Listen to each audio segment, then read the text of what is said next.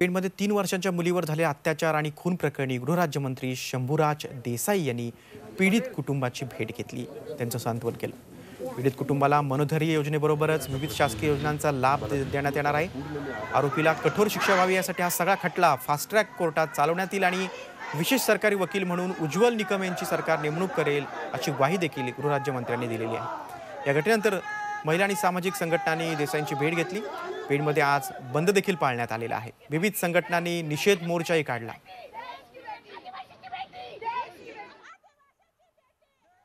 Fast ट्रॅकमध्ये ही केस चालवण्याचा निर्णय राज्य सरकारनं घेतलेला आहे. तो मी आत्ता जाहीर केला इथं.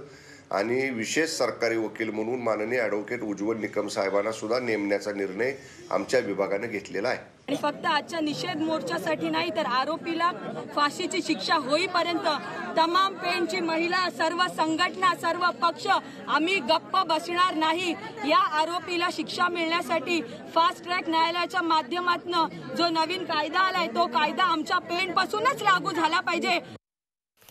बातम्या आता कोरोनाच्या नव्या स्ट्रेनबाबत देशातील नव्या कोरोनाच्या रुग्णांची संख्या पंचवीसवर गेलेली आहे. पुण्यात चार तर दिल्लीतील आय जी आय व्हीमधील एका रुग्णाचा रिपोर्ट हा पॉझिटिव्ह आलेला आहे. सर्व कोरोनाग्रस्तांची विलगीकरणात रवानगी करण्यात आलेली आहे.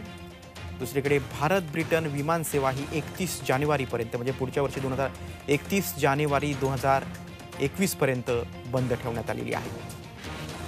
देशात नव्या कोरोनाचे पंचवीस रुग्ण आढळलेले आहेत. बघा ही जी संख्या ही पंचवीसवर गेलेली आहे. हळूहळू संख्या वाढते त्यात पुण्याचे चार तर दिल्लीतील आय जी आय बीमधील एका रुग्णाचा रिपोर्ट हा पॉझिटिव्ह आलेला आहे. त्यामुळे आरोग्य यंत्रणा दक्ष झालेली आहे.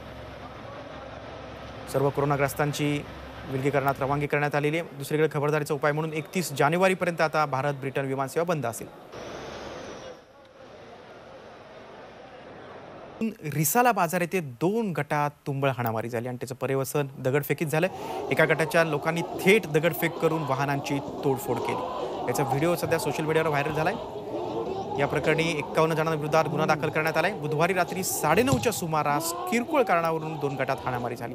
त्यानंतर एका गटानं तुफान दगडफेक केली. यात वाहनांचं मोठं नुकसान झालं. हिंसक जमावानं रोहित्र देखील फोडून वीज घालवण्याचा प्रयत्न केला. आपल्या गाडीवर आलं काय? पोलिसांनी आतापर्यंत सहा जणांना ताब्यात घेतलंय. या घटनेनंतर रिसाला बाजार येथे वाढीव पोलीस बंदोबस्त तैनात करण्यात आलाय आणि तिथली परिस्थिती आता सध्या नियंत्रणात आहे.